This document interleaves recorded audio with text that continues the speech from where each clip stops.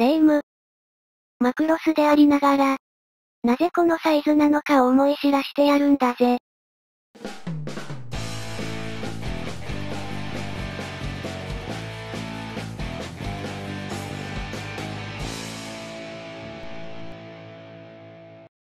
皆さんこんにちは。ゆっくり解説のレイムです。マリサだぜ。今回はマクロスフロンティア機体解説編ということで、マクロスフロンティア戦団中流、民間軍事会社 S、M、S で運用されていた、マクロス、クォーター。の解説を行っていきたいと思います。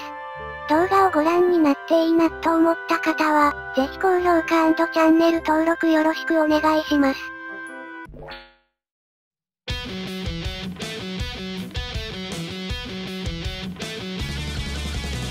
マクロスクォーターは、マクロス F 戦団をはじめ、各移民戦団に駐留している、S、M、S が所有している、マクロス、クォーター級可変攻撃宇宙空母、となっています。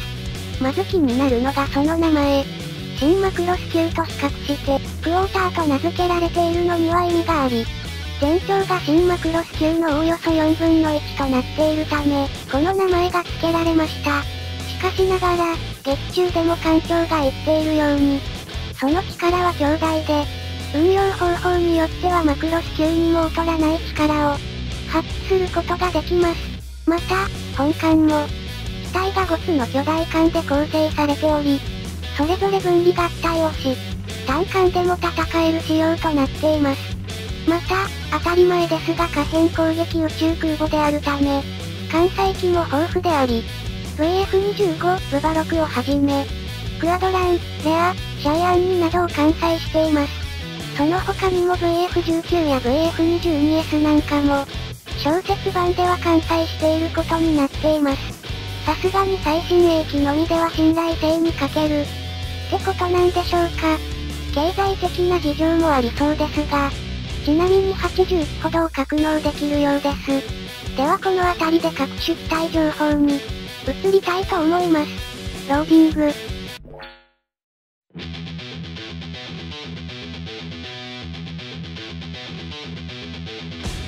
左右が若干見切れてますが、お許しください。このサイズの機体が、あの速さで動くと、乗組員はみんな死んでるよなとか思いましたが、ISC があるので大丈夫ですね。搭載されているとかいう文献はありませんでしたが、先ほど本館は、5つの艦で構成されているというお話をしましたが、それがこれらとなっています。中核というカット型の部分そのものである、センターハル、左舷空母アームド L、右舷ガンシップアームド R、背中の左右ガンシップ、バスター R、L となっています。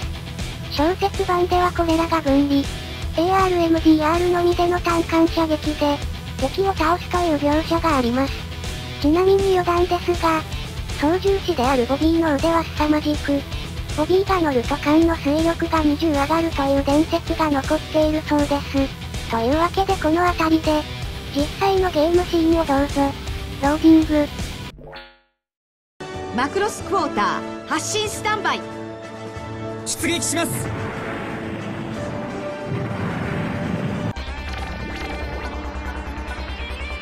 成功させてやる敵が戦闘エリアに侵入。迎撃せよ。作戦開始。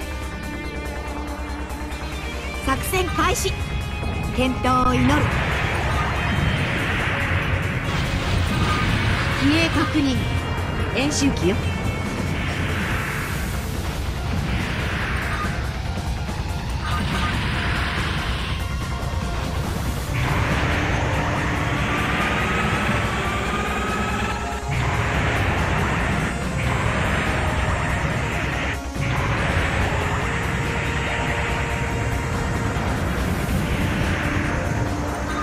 の演習機。来るわよ。熱源反応多数確認。デストロイドよ。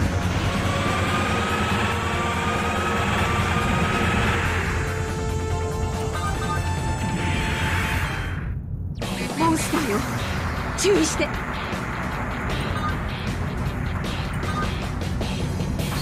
僕だって。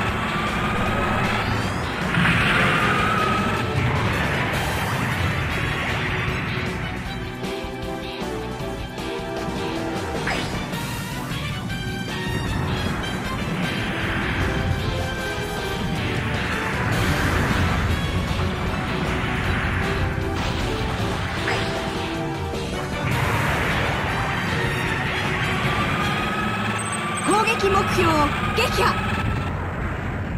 終わったか